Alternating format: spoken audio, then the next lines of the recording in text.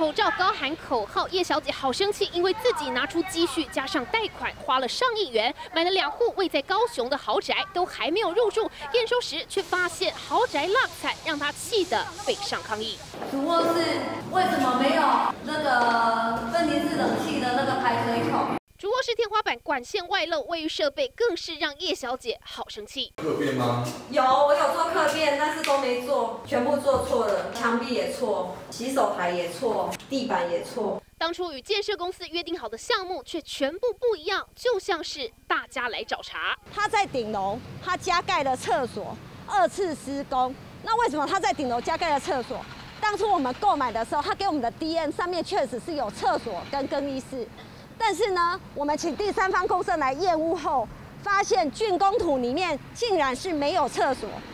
而让他更不满的是，建商二次违法在顶楼施作，明显不符合法规。没有理我们呢，我们也跟他讲说，就像刚才，呃，有记者问我说，那像针对国泰这个部分，那你们不要，你想解约，对不对？这怎么叫解约？你违法还解约什么？你根本就是应该把钱退还给我们，不想配合你的违违法。面对指控，建设公司发表声明，表示多次通融叶小姐在期限内没有完成交屋手续，屋顶冲洗区也是因为管委会的需求在增设，契约也是经过消费者审阅之后才签约，绝无欺骗的行为。而目前已经与叶小姐解约，而余款的部分已经办理清偿。叶小姐花积蓄砸一亿元买房，却跟理想落差太大，决定跟建商杠到底，讨回公道。记者姚立强、林春芳 S N 小组台北报道。